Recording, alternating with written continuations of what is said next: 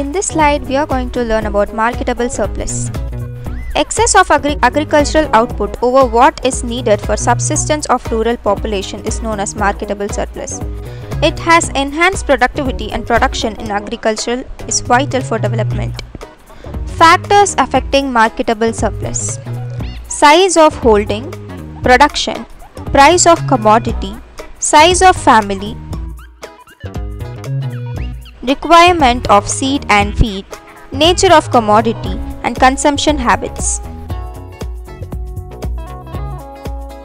In this slide, we are going to learn about capital goods.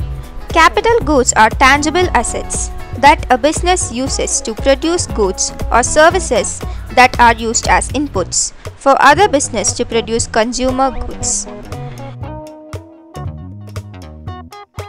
Examples of capital goods are buildings, machinery, equipments, vehicles and tools.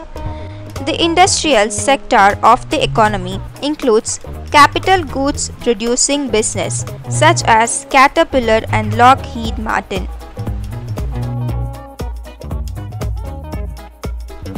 Economic planning Economic planning is to make decision with respect to the use of resources.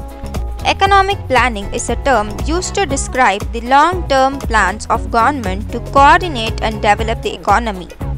Economic planning in India was started in 1950. It is necessary for economic development and economic growth.